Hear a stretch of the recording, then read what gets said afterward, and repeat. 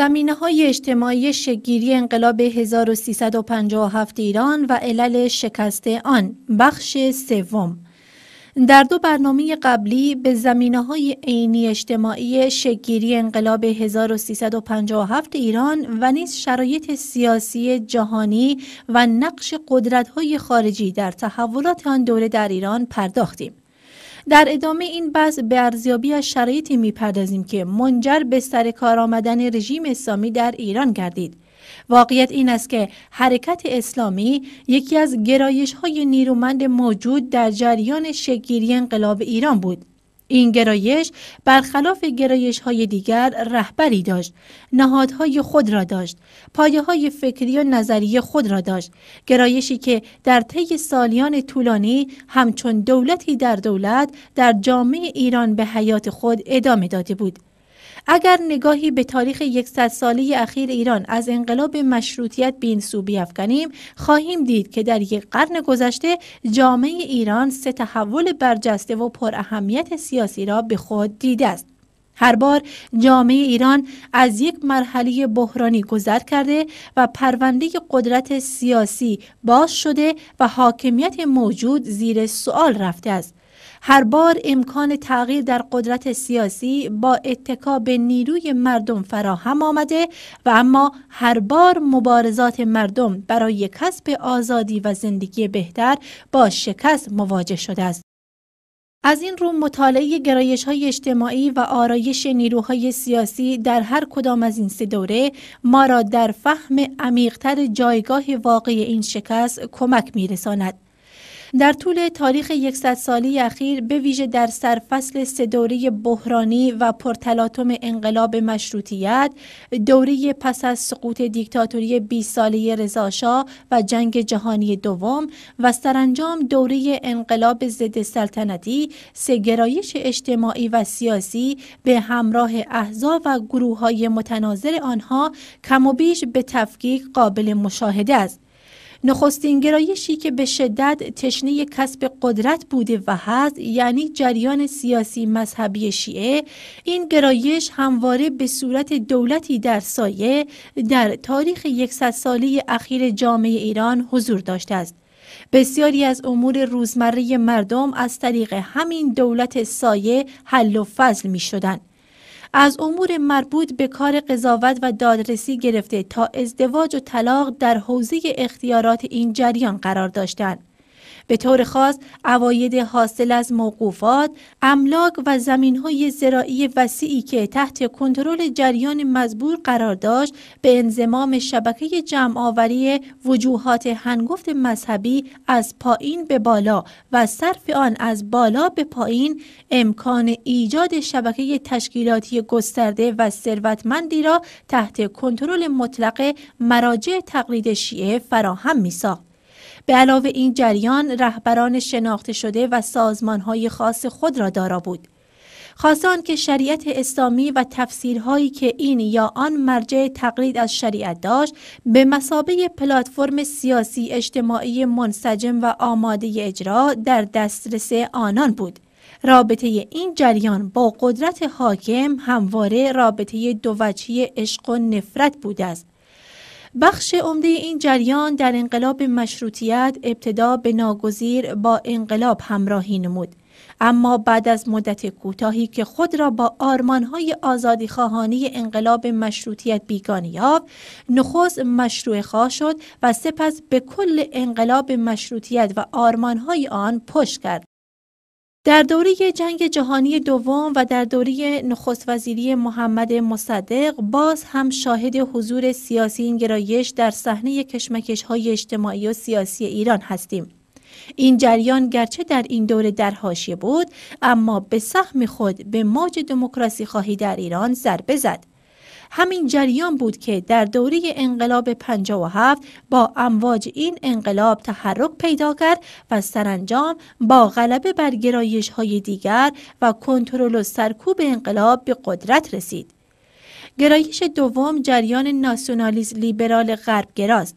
پیدایش و رشد این جریان به شکلگیری تدریجی مناسبات سرمایهداری در ایران به سالهای نخست قرن بیستم برمیگردد رهبران و تئوریسین های این جریان روشنفکران تحصیل کرده بودند که فرهنگ مدرن زمانی خود را از اروپا به ایران منتقل نمودند.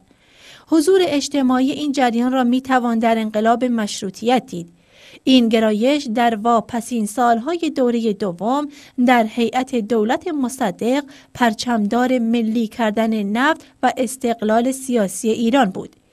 این جریان در دوره انقلاب 57 در مقابل گرایش مذهبی سر تسلیم فرود آورد.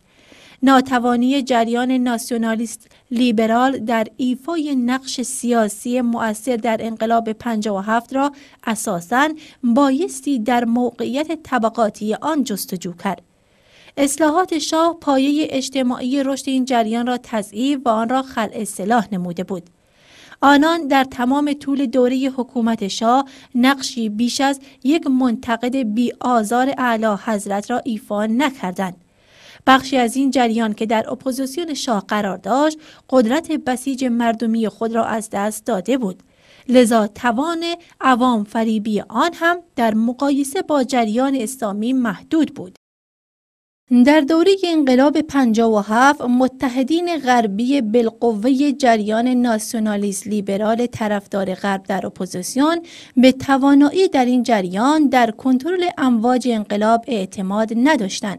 به همین دلیل جریان مزبور در کسب حمایت از غرب در رقابت با جریان اسلامی سکوی دوم را احراز نمود.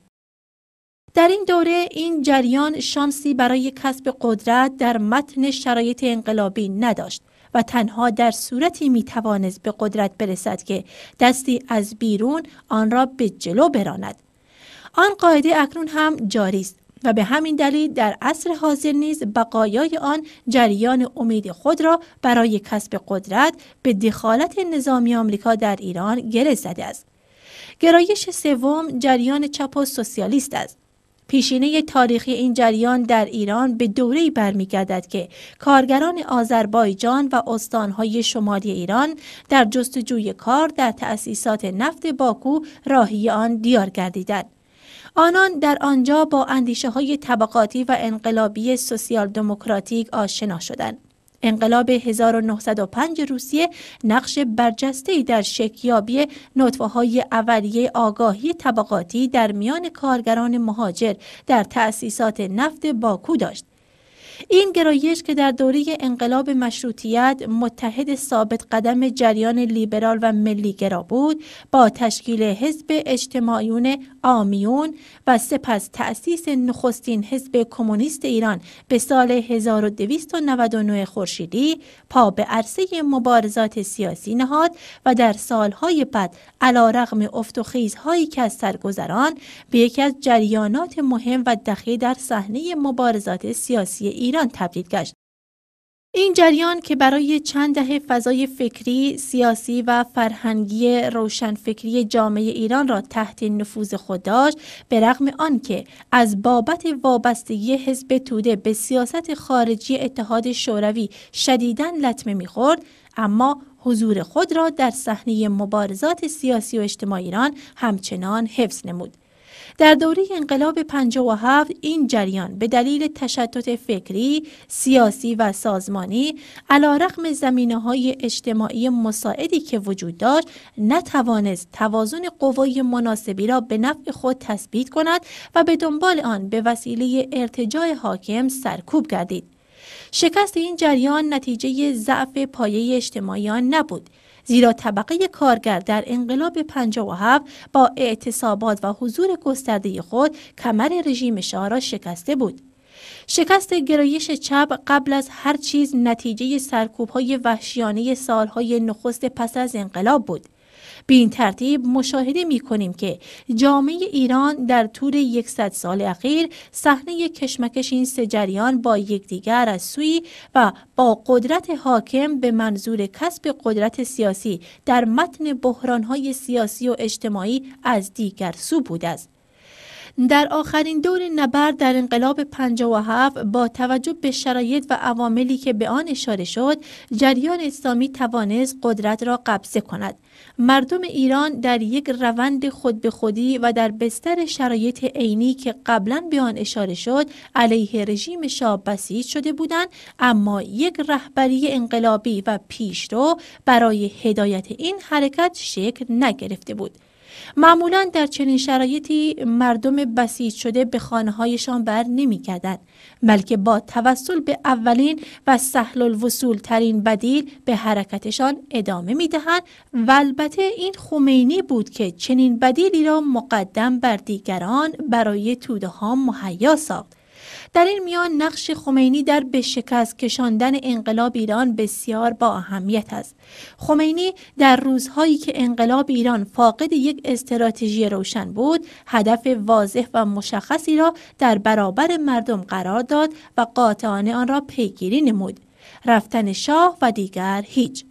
خمینی به یمن موقعیت ویژه خود به مسابه یک مرجع تقلید و فعال سیاسی شیعه و با توجه به سوابقی که در مخالفت با شاه و نفوذی که با کمک نظریه پردازی های ضد غربی قشری از روشن فکران در جامعه ایران کسب کرده بود در موقعیت کسی قرار گرفت که در دوره انقلاب 57 و در شرایط فقدان آلترناتیوی دیگر توانست هدف قابل تحققی را به توده های بسیج شده نشان دهد.